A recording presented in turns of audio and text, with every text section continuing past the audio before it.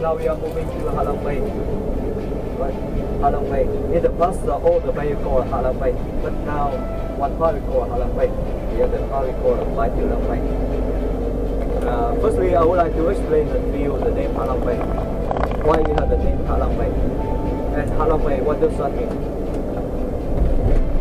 Uh, Ha, Long uh, Vietnamese. Ha means fly down. Long means dragon.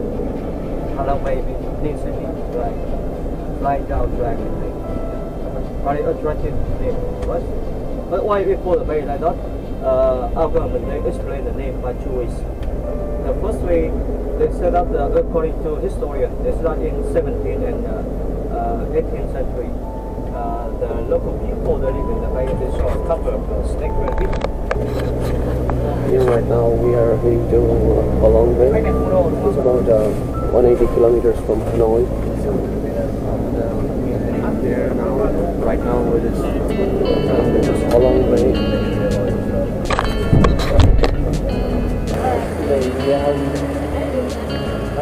Have Mr. Tam. He's our guide today. And so we're traveling with Mr. Tam today. Trống